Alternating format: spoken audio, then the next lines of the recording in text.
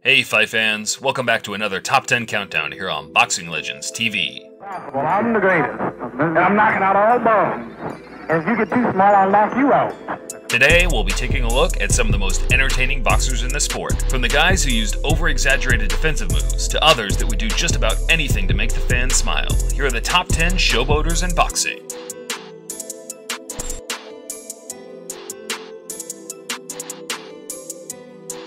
Coming in at number 10, we have one of the most crude and insane fighters of all time, El Matador Ricardo Mayorga. Dile a tu mujer que te dé huevo en la mañana para que te pares a pelear conmigo. No te vayas a tirar como cuando te tiraste con Bernahoki, Flyo. Mayorga had his fair share of achievements in boxing. He is a two-weight world champion and has competed in pay-per-view bouts against some of the biggest stars in modern-day boxing. But that is not what he will be remembered for. He is a madman, a wild animal at times, and he has probably had more fights outside of the ring than he's had inside. His famous arms down approach and his two bouts against the dangerous power puncher Shane Mosley show you what kind of reckless man he is. One, two. Look at Mayorga. Fights on. Let me tell you, Mayorga, this gets Mayorga into it. He just let him hit him a left hand. Look at him. Right hand. And look at Mayorga. Taking the number 9 slot, we have the 6'9 Gypsy King Tyson Fury. All these heavyweights are shit. You're looking at the saviour.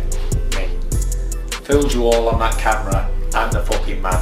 Always have been, always will be. Klitschko, you're getting knocked out, you fucking prick. As far as entertainment goes, Fury is 10 out of 10. He is one of the most confident trash talkers in the game, and so far, he has had the skill set to back up his words as he's currently undefeated with a record of 25 0. Confidence of the years. If I can't beat him, going nowhere, am I? If I can't hit him one time, knock him clean out.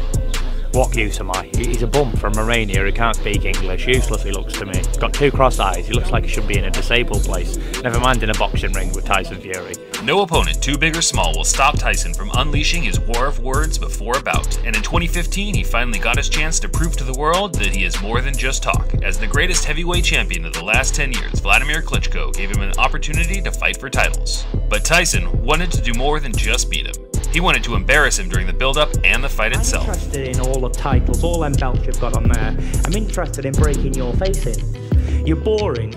I want to rid you out of the heavyweight division. History does not lie. History says all old champions move over for the new ones. I am the new one. And I don't care about all the fights. I don't care about going down in history. I don't care about being a role model. And I couldn't give a fuck what anybody thinks about me, to be honest. I care about beating you. Since winning the titles, Fury has been diagnosed with some form of mental illness and will have to take some time away from the ring. We here at Boxing Legends wish him a speedy recovery and hope to see him entertaining the fans once again in the near future. Yeah, when you grow a pair of balls, come fight me, and I'll relieve you of all them belts. And I'll leave that glass chin of yours in, in shatters all over that ring. No introduction needed for number 8. The pound for pound king, Floyd Mayweather, has made some of the best fighters of this era look like journeymen at times, and he loves nothing more than to gloat about his achievements. My name is Money May, and what I do is get money. And if you don't like me, you don't like your motherfucking self. Cause I like to get that kick. Floyd uses his defensive skills to frustrate his opponents and regularly pulls faces to let them know that they are not on his level. His most recent bout against Andre Berto was a perfect example of Floyd enjoying himself, taunting and showboating his opponent. Get out of babe! Get out of babe! Get out of bae! Oh, Mayweather telling Berto to shut up. He gets you so frustrated that you think you finally have him and you end up too anxious to get to the target. Minutes of Floyd Mayweather's career. He's having fun in there now. If this is his last fight, he, I, I guess he's just trying to enjoy these last couple rounds. Whether it's the end or not, Rocky Marciano has company. I do believe Mayweather has coasted to go 49 and 0. At number 7, we have the 1984 Olympic gold medalist and four-weight world champion in the paid ranks, Sweet Pea, Pernell Whitaker. Because Pernell Whitaker is such a terrific fighter that he can be world champions in many different weight categories, including the welterweight division. Arguably one of the greatest lightweights of all time, Whitaker is a master technician in the ring. He took defensive skills to a new level, and sometimes he would do the most insane slips and dodges to show off just how special he really was.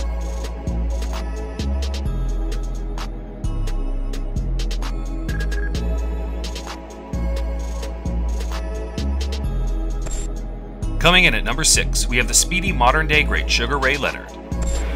I never said, could I do it? Or is there a possibility I might do it? I always say, if Ray Leonard wants to do something, Ray Leonard can do it. Ray wasn't predominantly known for showboating, as he generally came across as a nice, respectable guy in and out of the ring. But a switch was turned on after suffering his first defeat to the vicious animal Roberto Duran in their first match in 1980.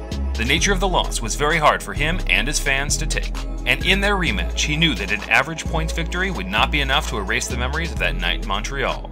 So five months later, he went out and avenged it in a way that no one possibly could forget. Into quitting. I think that Ray Leonard proved in the fights with Duran that he was more than a pretty face. At number 5, we have the infamous father and son duo, Chris Eubank Sr. and Jr. You know, I, I have a lot of people who, who say that sometimes in the ring I, I show off a little bit too much, but it's not, there's a difference between showmanship and, show. and, and, and showing off. You know, at the end of the day, it is a fight, but it's also an entertainment business. So, Yeah, yeah. you know, you gotta you gotta fight, and if you can look good while you're doing it, then then look good while you're doing it. These two are certainly not ones to shy away from a bit of publicity, so I think they'll appreciate the fact that we listed them together here. Although Chris Jr. is yet to achieve 10% of what his father did, it's already clear to see they share the same ambition for entertaining the fans in the most stylistic way possible.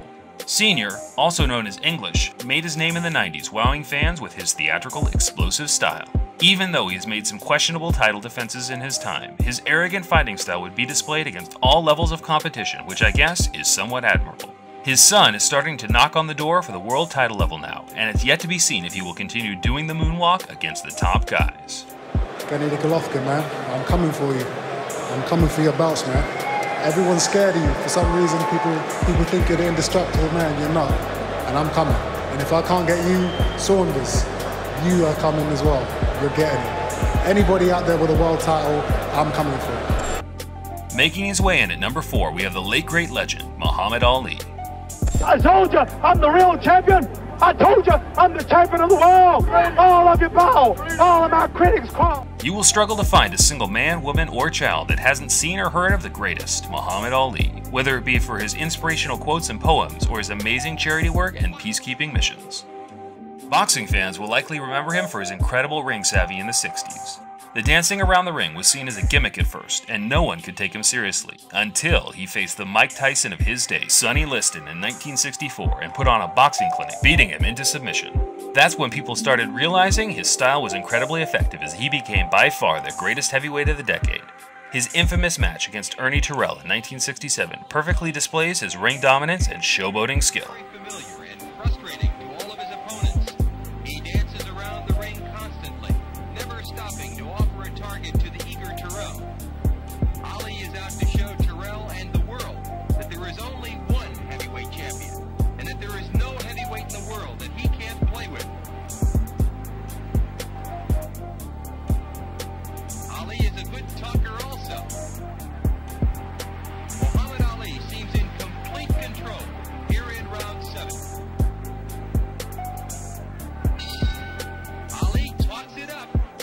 Taking the number 3 slot, we have the 90s Fighter of the Decade, Roy Jones Jr.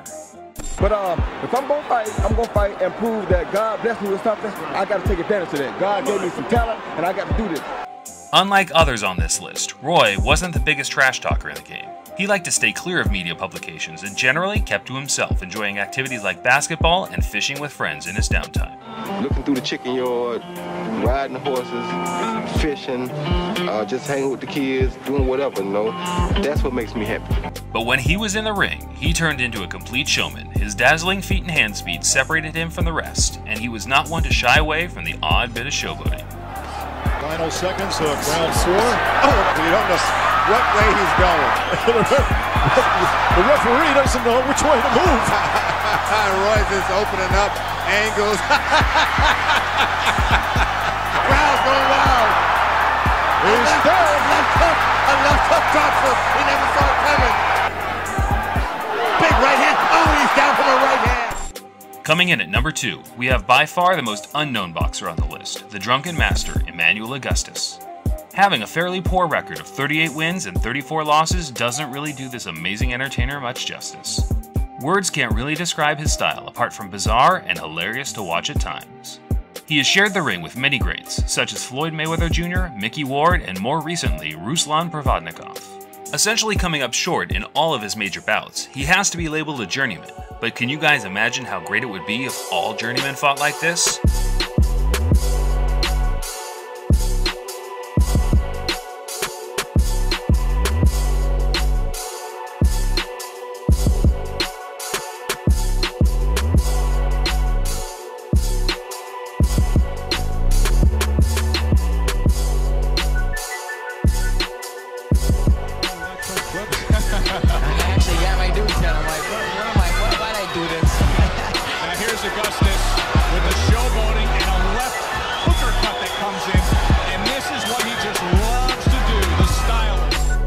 Before we take a look at number one, here are some honorable mentions.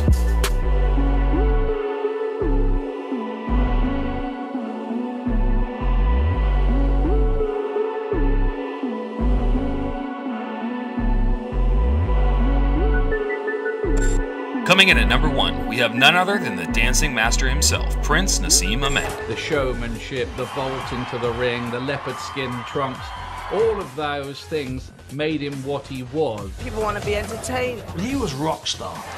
I was too strong, too fast, and too good. And I'm world champ. Our pick for the number one most entertaining boxer of all time was a quick and easy decision to make.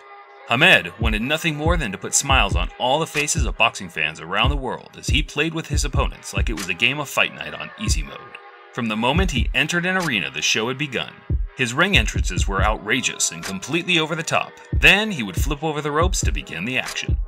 During the fights, he would often have his hands by his side, slipping punches by mere millimeters, and then he would taunt his opponents after their miss. He also had very dangerous power and could finish a fight with one punch, which he did on many occasions. If you haven't seen a full Naseem Hamed fight, then we strongly advise you do so right after watching this, because quite simply, his whole career is a highlight reel. Watch the uh, use of the shoulder. So well, and this is a very confident Hamed. And look at this, I think.